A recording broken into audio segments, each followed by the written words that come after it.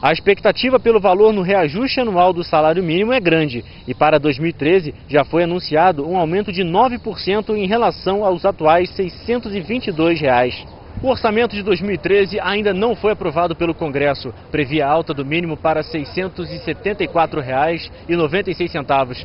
A proposta original do governo era de aumento de R$ 622 para R$ 670,95. Mas o cálculo da inflação foi reajustado e isso elevou o valor. No fim das contas, o trabalhador terá 56 reais a mais para complementar a renda no próximo ano. Olha, não faz nada, porque aumenta tudo.